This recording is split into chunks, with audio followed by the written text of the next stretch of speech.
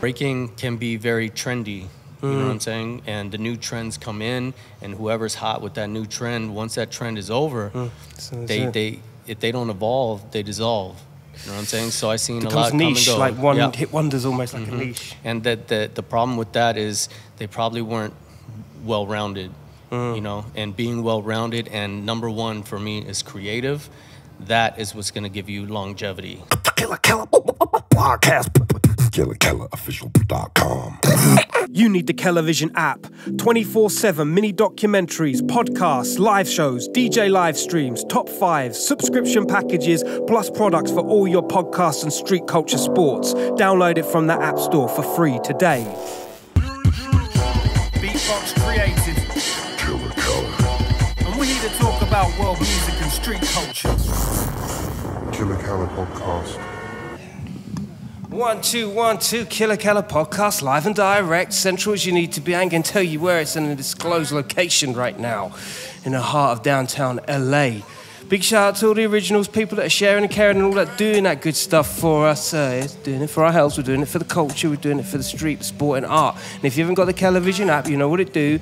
Head over to Apple Android, free download, Kelavision for the sporting art with mini docs, live streams, DJ mixes, and of course, the notorious podcast that we're delivering to you in uh, beautiful 4K. Check this out. We have a legend inside the place, one of the B-Boy Originals West Coast pioneering style elements crew. I cannot stop gushing. The man is in the building. B-Boy Crumbs, what are we Let's go, saying? my brother.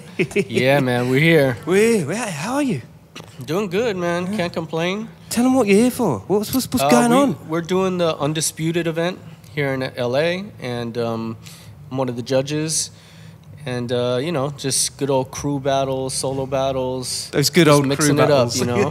can't, can't forget those, you know. Yeah, yeah. You know, the one on ones have been taken off the last 20 years, but Mm. can't forget about the crews, you know. Yeah, yeah, and and the intention of b-boying has moved. It's it's evolved. It's, you've seen it from a very early stage of, of what seems to be like the, the the leap journey towards 2024, and these events are popping up a lot more. Nothing like undisputed, of course, but they're moving.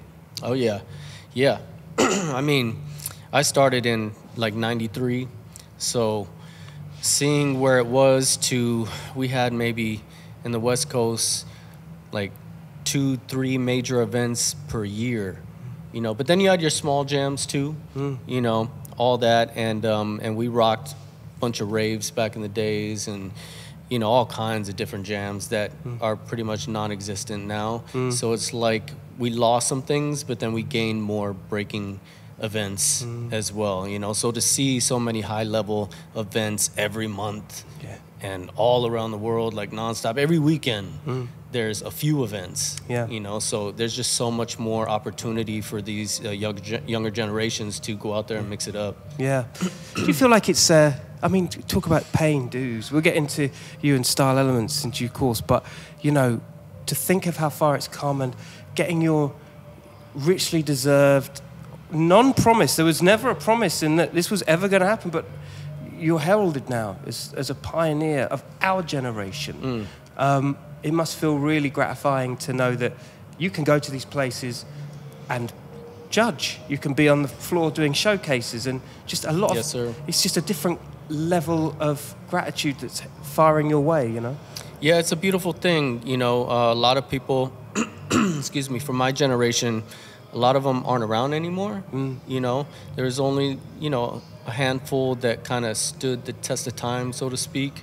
And uh, everybody goes through different situations. Life, Yeah. you know, hands you different cards. And, um, you know, there's some of us that just never stopped. Yeah, you know, just and never I'm stopped. one of those guys that just like, and still till this day, I'm still competing when I want to, you know, judge, um, cipher, showcase, theater, industry work. Like I, I do it all. I've been doing it all my whole career, and, and, and I just have a deep passion for this, and that's why it keeps me going through all these different generations. And It's very interesting navigating through the different generations and seeing um, the differences. How so? Explain that. How how is it how is it interesting from a from a like you see you've seen it from behind you, you're seeing it in front of Oh, you. yeah. Uh, uh, Give me some give me some uh, intel on what what you're recognizing within this journey.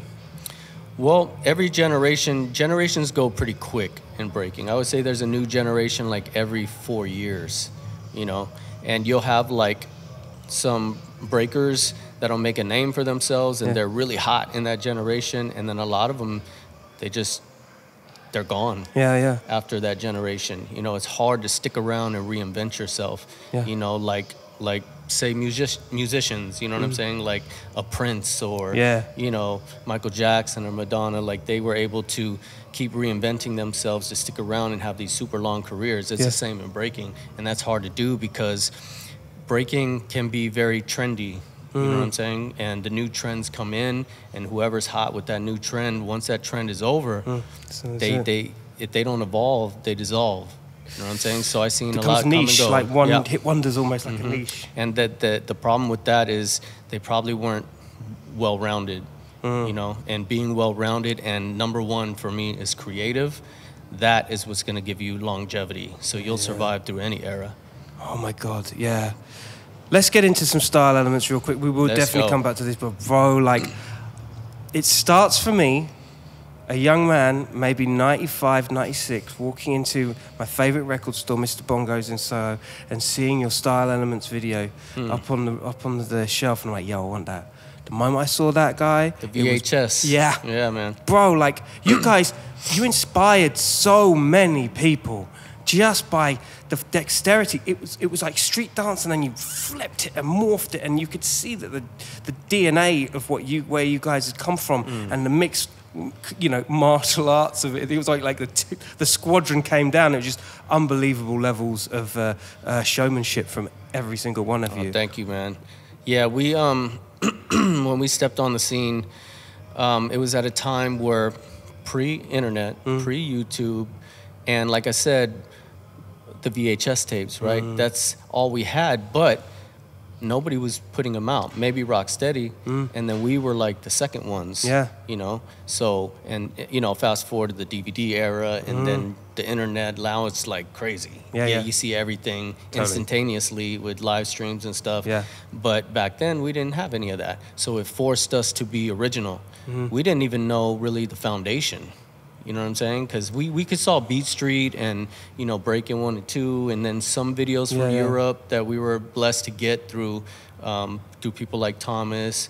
And um, Yeah, big up, Thomas. but we didn't have a lot to go off. And even the videos that we did have, we would get inspired by them, but not take their moves or styles. We would get inspired by it and flip it Mm. Yeah. and make it ours, you know? So much to the point that you would never know unless we told you who we got inspired by. You know what I'm saying? Mm. Yeah, yeah, yeah. So it was just a different time. And like I said, it forced us to be creative and original. And, um, and we, as a crew, our guidelines back then, which are different now, well, it's always the same for my crew, but it was not to look like anybody else in your crew. If you remember pre, like in the 80s, like crews kind of like broke the same, you know what I mean? Yeah. Like you'd have crew battles and they all kind of do the same That's things, right. and windmills, whatever footwork patterns and freezes. And it was uh, almost like standard DNA kind of Right. You know, you've got to get this right to do this, or else you're not a Right. real. b- b- b- So we totally went backwards. Hmm. You know what I mean? We went against the grain. And um, like, I'll take a quote from Alien Ness. He said, We made it legal to be illegal, right? In the scene. Yeah. So we just started from the creative side Hmm. of things. And along our journey, we picked up the foundation later and then flipped that on its head and started mixing in like crazy details with all different dance styles, but in a breaking format. Yeah. with the breaking style and flavor, you know, and that's style elements. And that's why I think like when we came out and started traveling around the world and competing, like people were just like, what the fuck is this? Mm. What you the know? fuck is this? Yeah. Like I remember talking to Tony the Pencil, second to none, and he was just like, "Yo, like, it was." He he described it as it's so such a pleasure dancing with you guys and knowing you guys and going out for drinks with you guys and Yeah. getting fucked up with you guys. Second to none, man. Yeah, Those man. my boys. Oh, geez. Uh, it was just, you brought that punk, fresh vibrancy that also came with a lot of the West Coast. When I think about Invisibl Skratch Piklz for its time. Oh yeah, they were a big inspiration for us. Yeah, yeah. what they did on the tables, we were doing on the floor. Yeah. Mm. You know, manipulating sounds and, and movements. Yeah. You know, they were doing that with sound. We were doing that with, with movements. Yeah, yeah, yeah. Changed the whole game, and I think as a package, it re-exported, it imported through a new idea of anything goes. You know, get your get your craft right, but anything goes. It's like the next level up from what had been there before. Um, and West Coast definitely held the crown to that. Yeah, and we caught a lot of flack for doing it the way we did it in the beginning Mm-hmm. because people didn't understand. And when you see something new, sometimes it's hard to be accepting of it, if that makes sense. You know what I'm saying? It takes a little while for it to develop and to kick in. But when it kicked in, boy, it changed the changed the game. Changed the game, bro. Like you guys became, and still to my mind, I don't know many other crews that took it to that level. I mean, give me some other people that, you know, you were battling like crazy out there. You know what I mean? For its time, you guys were ahead of the field. Yeah, I mean, there were a lot of good crews. You know, like our rivals in, in the West Coast was Renegades and Rock Force crew. Of course, Rock Force. You know, yeah, big up and, Renegades. um, yeah. And um, and then later came like your um, Ground Zeros Mm-hmm. and Skill Methods. They're like an era after us. Yeah. You know what I'm saying? So, but I feel like we helped them develop the way they did too.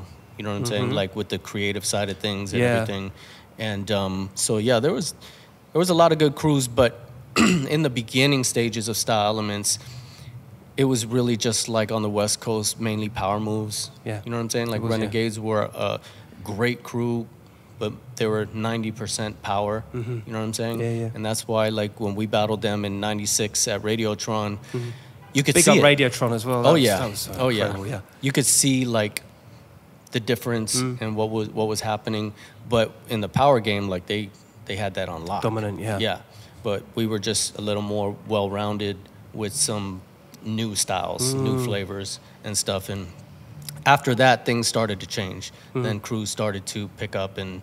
And, and morph into more more of the stuff we were doing too. Did, did you feel it to the point where it was like you, you felt like, respectfully, you were competing with an influence that you had provided particular crews, where it's almost like you could kind of read between the lines and, and you were like, oh, I kind of, I kind of did that, but I can see you doing it back at me.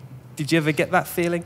Oh, we yeah. People will battle us, battle us with our own moves, our own stuff, our own creative, you know, moves, and um, that's again when things started to change from like it used to be like biting was not allowed. Mm-hmm. You know what I mean? It was looked down upon to where like if you're not biting, you're not good. Yeah, yeah, yeah. Now, right? That's kind of even now. Yeah, that's what it is because there's so much information out there, and um, the stuff that we were doing back then, a lot of it has become I call future foundation, you know, and uh, it's a beautiful thing. But in the beginning stages, it was like when we would first see it, we're like, oh my god, what the hell? Yeah, like, yeah, yeah, you know, they're taking our our shit and doing that. But now.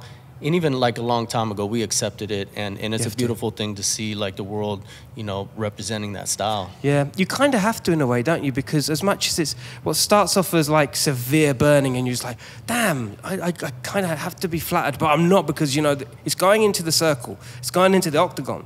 Um, but then after a while, you see that development takes shape, and you realize that you're a piece of the puzzle, you're a piece of the organism that keeps on moving, right? Um, where did it all begin for you? Where where did dance begin for Crumbs? in Modesto, California, 209, Central Valley.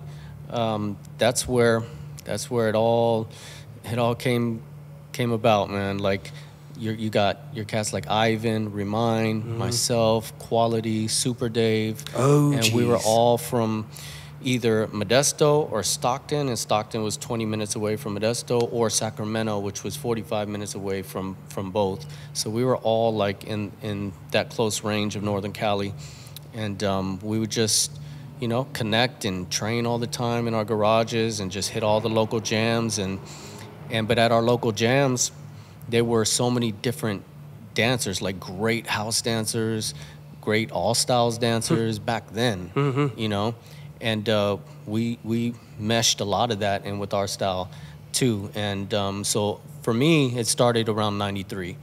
You know, like around there. Uh, I would say I was like in eighth grade. You know, seeing some ki- some kids breaking at my school too, but they were really like breaking in their socks and doing like, you know, handstand freezes and and alpha kicks and um, maybe some flares and windmills. That's crazy. Yeah. Eighth grade, and you, you guys are rolling like that at school. Oh yeah, yeah, big time. Yeah, we would practice every lunch out in the halls, like every day. Yeah, like crazy. Without even much consideration of where it was going, it was just fun. yeah, just fun, just enjoying the process and building and growing.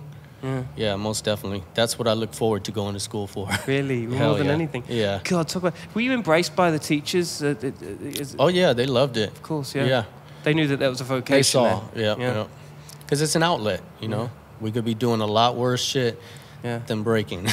Yeah, but what you inherently done was take what was initially there as an idea and you then moved it forward. And the 10,000 hours that you collected in that time where you were just having fun, when you came to like becoming part of a bigger crew in a collective, in a, in a rave space or a club space, you had already done all the groundwork. yeah. It's incredible. that we're prepared for anything, any cipher, any comp. You know, we, we built ourselves up to, to last and and to take over. I think that's what blew people's minds the most is that how come some young guys like yourselves at the time could be so versatile? You know what I mean? Like, it's a lot for people to fathom because a lot of people from back in the day often got these, you know, wild styles, style wars, and were just copying Yep. um, and catching up with themselves. But you guys just kind of blew the doors open, just rolled on in, you know, just donning it. It's crazy. Yeah, I know. Like for me, because I started so young, I was um, I was blessed to hang around with people that were already like in their 20s or, or 19, and um, they would take me to the clubs and get me in because they're great dancers themselves, and you know they were they had to pull to get me in. So I was I was hitting ciphers in, in nightclubs since I was like 13, 14, and so that gave me a lot of um, uh, uh, practice, you know, practice in those those raw elements and a lot of experience, you know. So going from there with all the adults that are already really good Yeah. and hanging with them, Yeah. it, it it gave me the experience to to all the battles. Yeah. And whoever we went against, you know, maybe they didn't hit all the clubs like we hit, mm. and it, it shows. You know. You can tell. Yeah. One thing Tony the Pencil said, which which holds true because it holds true with beatboxing, and it holds true with a lot of the more hip hop cultural arts. Is you walk into the octagon, you can tell just by the way a person moves that they just have not got whether it's the size of the space and they're trying to figure out how to move in it. Hmm. They haven't done the groundwork. They haven't had that experience. You can tell, can't Yeah, you? they can't adapt Yeah. to the situation. yeah. You know, it takes a lot of versatility and, and like I said, experience. Yeah. You got to put yourself in all different situations and um, and train, Train. in all different situations. How many days a week do you train? Back then or now? I would say back then. We started back then. Back then we were animals. Uh, we would train eight to ten hours a day, six days a week. Six days a week. Yeah. Eight to ten hours a day. Yep. Injuries? Nope. No injuries.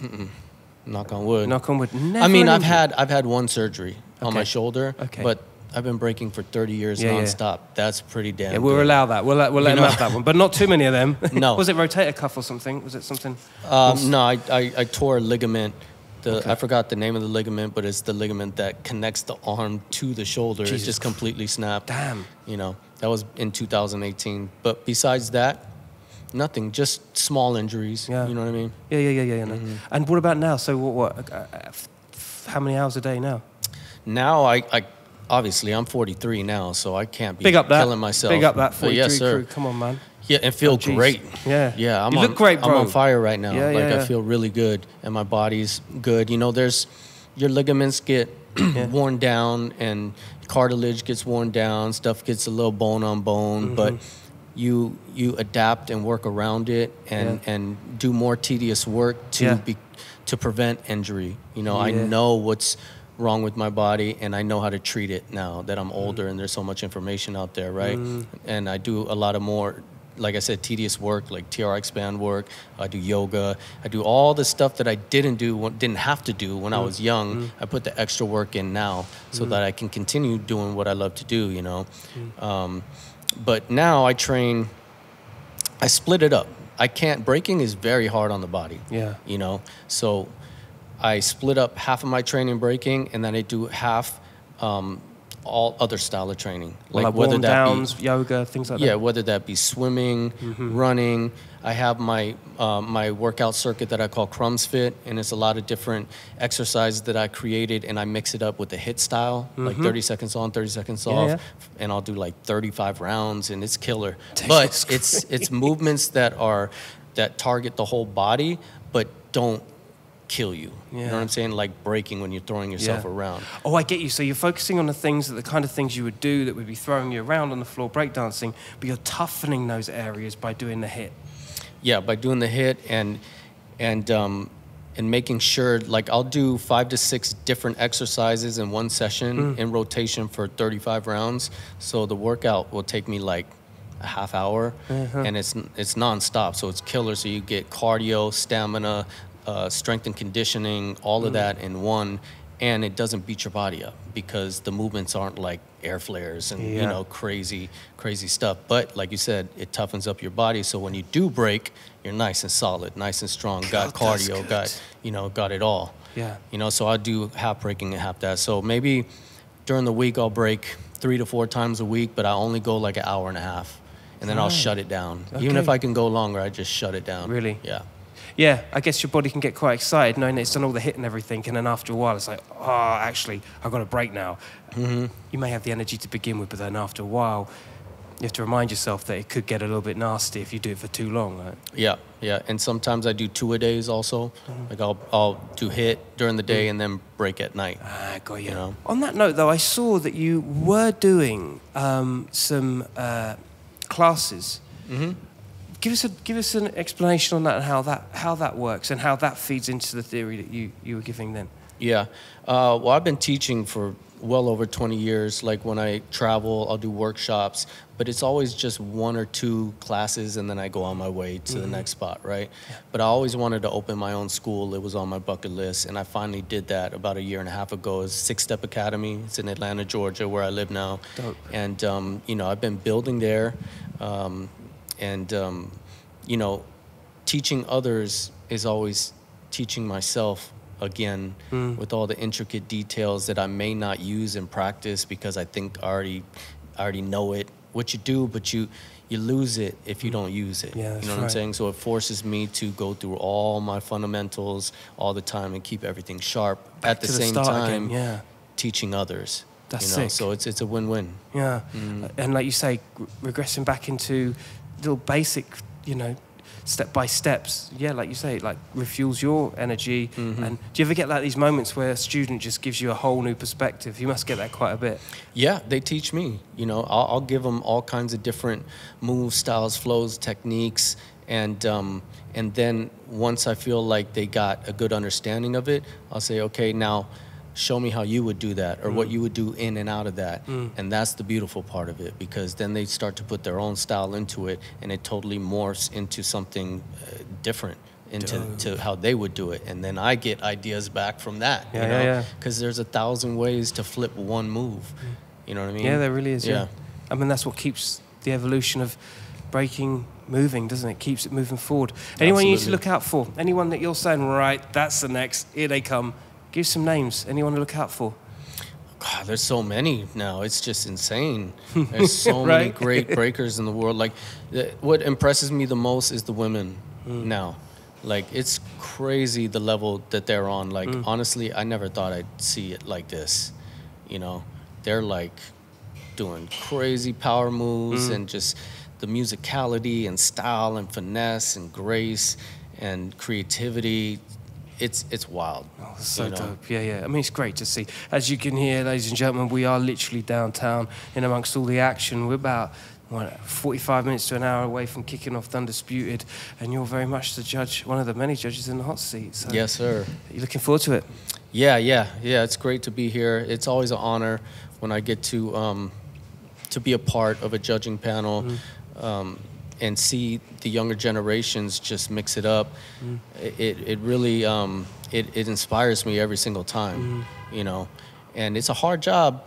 You know, it's very hard. I don't because- envy it. yeah, because the, the level is so high. But, you know, I also think that it's important to have, you know, well rounded judges that have been doing this for a long time um, to be able to get it right most of the time. Yeah. You know what I'm saying? Nothing's perfect. Yeah. But when you have people that have been true to this and been doing it for decades and, and mm. nonstop and competing, mm. you know what I mean? That mm. it, it means a lot. And and the competitors, they feel that too. Yeah, they so do. whenever whatever judgment you give, it's like, okay.